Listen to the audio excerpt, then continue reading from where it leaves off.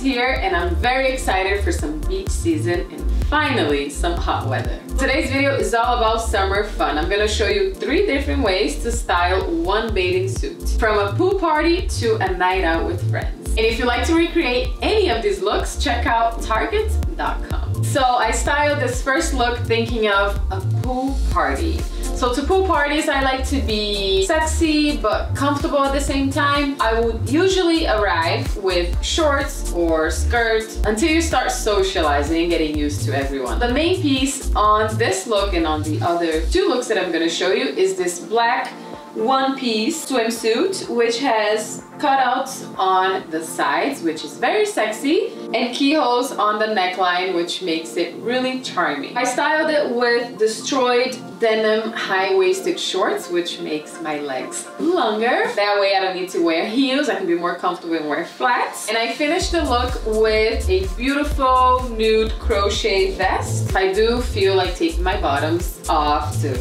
take a dip in the pool. I can do that and still look chic and glamorous. If you decide to take it off or not, what matters is how comfortable and confident you feel.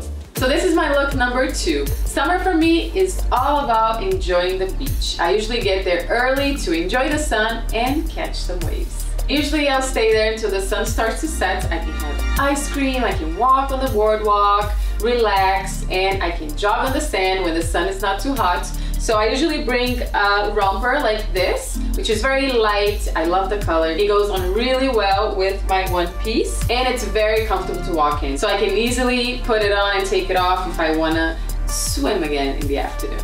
And here's my look number three for a night out. I love one-piece bathing suits because it can be confused with stylish tops or bodysuits love that. So usually after the sun is set, my husband and I, we like to explore the city a little bit before going to dinner. I kept the same one-piece bathing suit, very stylish, and I paired it with a geometric print skirt, which is very girly, high-waisted, which makes my legs longer. I love that. And on top, I put a denim vest in case I get a bit cold. And it will also make my look a bit more covered up for dinner, right? So the day usually ends with a nice dinner and if the restaurant is really nice, you will find me on the dance floor. So there you have it girls, three cute looks for a fun summer day using one swimsuit. So what does your summer plans consist of?